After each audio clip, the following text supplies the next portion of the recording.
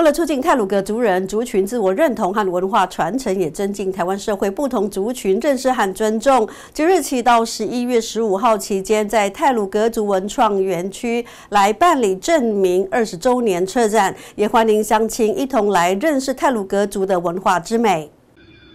秀云乡公所二零二四泰鲁格族证明二十年策展，即日起到十一月十五号，在秀云乡泰鲁格文化创意园区办理，希望能够呼唤所有泰鲁格族人一起响应纪念证明运动，以及深化族群认同。尤其泰鲁格族传统生活领域，以土地自学、山林世家独特的山林领域生活交织成泰鲁格族独特的文化特色。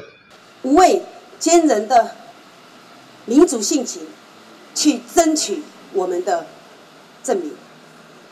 我想这个都是新时代年轻人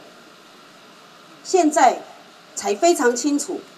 我们的定位是什么。九十三年，我们成为了泰鲁格族，呃，成为了台湾第十二个大族。如今我们今年满二十周年。我们一样要记得，我们独古的传统领域，常常说，以山、山林是我的家，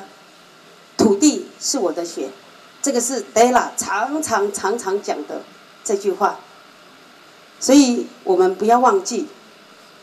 因为会因为我们不会忘记这段话，